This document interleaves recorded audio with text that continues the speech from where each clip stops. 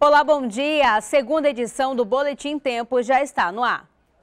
Ontem a Arena recebeu os dois primeiros jogos de futebol olímpico. Suécia e Colômbia empataram em 2 a 2 e os atrasados nigerianos ganharam do Japão por 5 a 4. É, mas domingo e terça-feira tem mais. Destaques para as estrelas do futebol feminino, como as americanas e, claro, as brasileiras.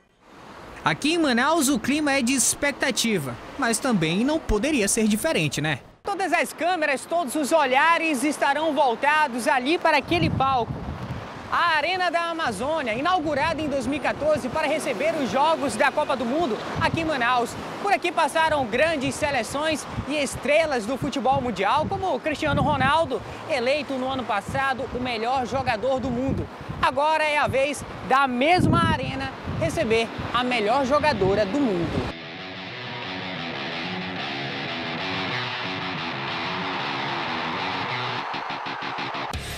é a americana Carly Loyalty.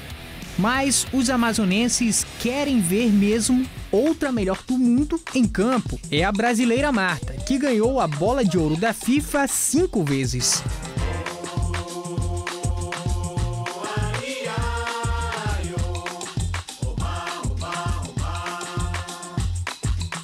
Ansioso para ver a Marta? Bom, vamos ver, né, se ela é tudo isso que as pessoas falam. Cinco vezes melhor do mundo, né, então deve ser muito boa a jogadora e espero que o Brasil ganhe. Marta vai jogar aqui no dia 9, quando o Brasil enfrenta a África do Sul.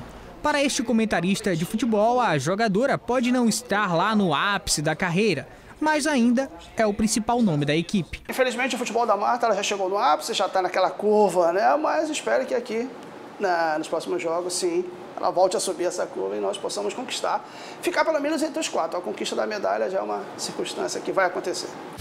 No futebol feminino, além do Brasil e África do Sul, vão jogar aqui Colômbia e Estados Unidos também no dia 9. Enquanto elas vão brigar por medalhas olímpicas, essas meninas aí do Manaus Futebol Clube lutam também por reconhecimento. Isso espelha muitas meninas que estão por aqui a conseguir alcançar os seus objetivos.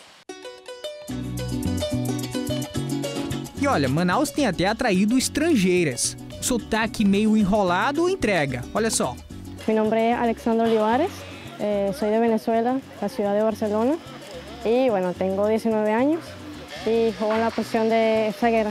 Ela já defendeu a seleção sub-17 do seu país.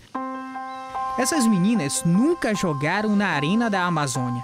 E se um dia a Raine pisar pela primeira vez no gramado da arena, ela até imagina o que vai passar pela cabeça.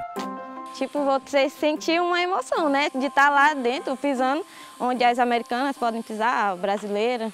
Tipo, a Marta, pode ser a outra melhor do mundo também que teve. Para mim é muito gratificante isso. Pois é, além da Marta e das meninas do Brasil, não há como deixar de falar das norte-americanas. Além de ter a atual melhor do mundo, elas têm também a goleira Hope Solo e a atacante Alex Morgan. A seleção que já disputou as quatro finais, tetracampeã olímpica, né, a seleção norte-americana. Ela só perdeu a, nas Olimpíadas de 2000 em Sydney, perdeu para a Noruega, ganhando as outras quatro. Se no feminino as seleções vêm recheadas de estrelas, no masculino já não dá para dizer a mesma coisa. Suécia e Colômbia, por exemplo, vencem os principais nomes. Zlatan Ibrahimovic se aposentou da seleção sueca e James Rodrigues foi liberado pelo Real Madrid para jogar apenas a Copa América. Com a palavra, quem entende sobre futebol, Aderbal Lana. São 35 anos de carreira como técnico de futebol. Eu esperava que isso não acontecesse, porque são jogadores muito bem pagos, jogadores que têm uma, uma que têm os fãs atrás deles, que se cuidam, né, que ganham muito dinheiro. Evidentemente, eles mesmos, eu acho que não optaria por disputar uma Olimpíadas aqui. Eu acredito que, mesmo sem é, esses grandes astros, aqui em Manaus vai ter público. Lana é antenado no mundo da bola. Reconhece o que um craque pode acrescentar no time, mas também consegue ver na ausência de grandes estrelas algo positivo para os técnicos das seleções. E um jogador às vezes faz a diferença e ele te ajuda. nós não podemos negar isso. Mas quando você tem um conjunto que funciona, é como um motor, todas as peças estão trabalhando. Pois é, e tem torcedor que nunca imaginou ficar assim, tão perto de uma Olimpíada. Imaginou um dia ir para o jogo das Olimpíadas aqui em Manaus? Não, nunca imaginei. Ó. Você vai ser um sonho, né, realizado. É. Parece até mentira. É, parece até mentira. Por causa dos jogos, amazonenses que moram longe de casa vieram matar a saudade da terra natal. Eu sou daqui mesmo. Aqui é torcedores do Brasil, mas que moramos na França e viemos para assistir os Jogos Olímpicos aqui.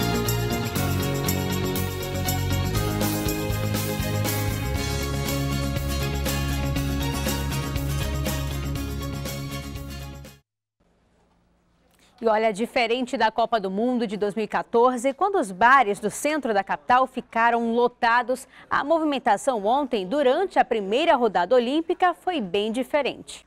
O movimento dos estrangeiros nos bares da cidade ainda está pouco, até nos principais do centro da capital. Mesmo com a estreia dos Jogos Olímpicos na noite de quinta-feira, eles não deram muito as caras. A expectativa é que isso comece a mudar no fim de semana. É, pelo visto, os turistas preferiram mesmo ir para a Arena da Amazônia e Ponta Negra assistir aos Jogos. Diferente da Copa de 2014, onde os bares eram lotados. A Copa foi muito bem diferente. Dez dias antes, o Caldeira já estava lotado de gringo. Mas agora, até agora, não chegou ninguém. Espero que chegue, né?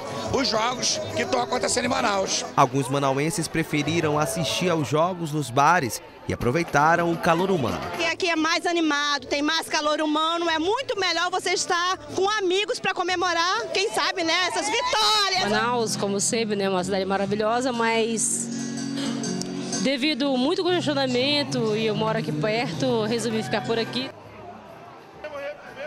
Um grupo de universitários se reúne toda semana para ver e aprender sobre astros do planeta por meio de um telescópio. E o interessante é que qualquer pessoa também pode participar.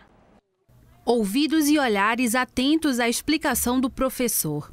Paulo estuda administração, mas desde criança já gostava de astronomia, uma área diferente da carreira que ele escolheu. Eu sempre gostei desde criança, assim, acho que todo mundo olha para o céu e quer, assim, ver que tem alguma coisa acontecendo e não está entendendo o que está acontecendo lá em cima, né? Eu sempre achei interessante, mas foi nos últimos anos, assim, fazem três anos que aí eu, minha mãe me deu um telescópio de Natal e foi aí que eu comecei a praticar de fato a astronomia amadora. Aqui eles são considerados astrônomos amadores, mas essas pessoas não deveriam ser da área de física? Pois é, esse é um dos grandes diferenciais do projeto. O objetivo maior do que isso, que eu consideraria, é as pessoas valorizarem a ciência, né? Não necessariamente que as pessoas que passem por aqui e venham cursar, né, é, fazer um curso da área de exatas, mas que possam enxergar na ciência algo muito valioso. Né? Aqui quem conhece do assunto explica para as outras pessoas como funciona o universo da astronomia. E através do telescópio eles conseguem ver as estrelas e até os planetas. É o caso do Rafael. Pela primeira vez veio participar do projeto. Mas depois de ver os astros pelo telescópio, o interesse aumentou ainda mais. A astronomia para mim é uma coisa que sempre teve comigo desde muito tempo, desde pequeno e agora, como eu encontrei um grupo através de outros amigos, eu vim para cá para ver como é que é, para conhecer as pessoas, para conhecer como, como é o método que eles utilizam de, uh, de pesquisa. Esse geólogo gostou tanto que até comprou um telescópio para aprender mais sobre os astros. É a minha segunda vez aqui, eu tenho um telescópio, eu quero aprender a usar mais. O pessoal tem uma experiência muito boa aqui com isso e é aproveitar, aprender, discutir, disseminar e assimilar conhecimentos. E para quem quiser seguir carreira ou mesmo conhecer mais sobre o assunto, essa é uma grande oportunidade. O Clube de Astronomia da UFAM se reúne todas as quartas-feiras, às 6 horas da noite, no campo de futebol da universidade. A segunda edição do Boletim Tempo Manhã termina aqui. Eu espero você na segunda-feira.